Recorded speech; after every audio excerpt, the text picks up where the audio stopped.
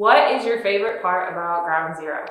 My favorite part about Ground Zero is probably the nine square and getting to watch the devotional videos with the kids because it really gets them to understand more of the situations that you go through and small groups so you can know what other people are going through and what you go through so you can all help each other out. Uh, I would say that the um, relationships that I've made have made a positive, positive impact on my life in every aspect.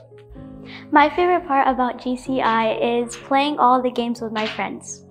The reason I love Ground Zero is because it, I get to socialize with my friends, learn about God, and I have something to do on Wednesday nights instead of just stay home and play video games.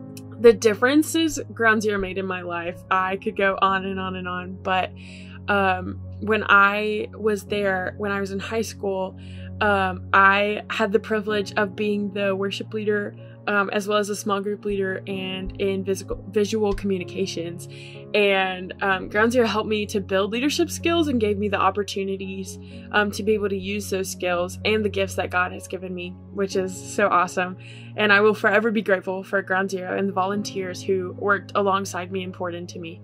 Okay, so my favorite parts about Wednesday night is that I just get to come here and meet new people, meet new friends, and like I get to see all my old friends from school and all, and like to really, you know, just come here to clear my mind. Like whenever I'm having a bad day, I can just come here and just relax.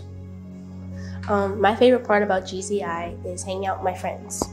Ground Zero was the place where I learned to become um, a leader. It, it, taught me how to interact with students my age and um, be an example, lead by example. means it kind of helped me to, to reach out to people, um, to, to hold myself and other people accountable.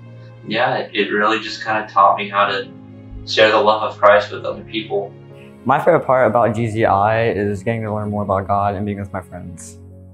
Uh, Ground Zero is a place uh, where I can just come and, and be able to be free and, and, and have people to go talk to, as well as be able to see my friends and, and uh, really get away from any problems from school, uh, athletics, or work. Uh, it's been a great opportunity for uh, the kids in this area, not just me included, to be able to come and, and hang out for a couple hours and, and take our mind off of the real world problems.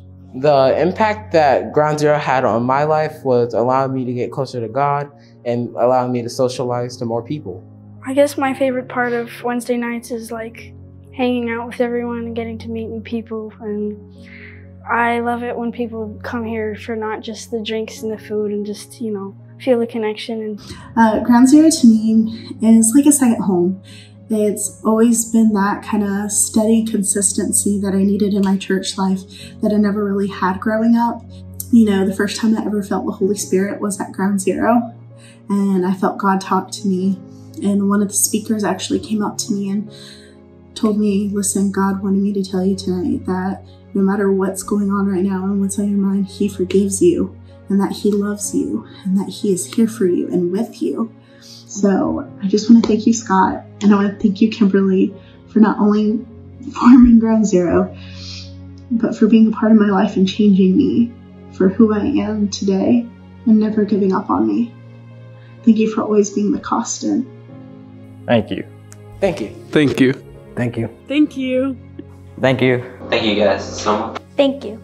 Thank you. Thank you. Thank you.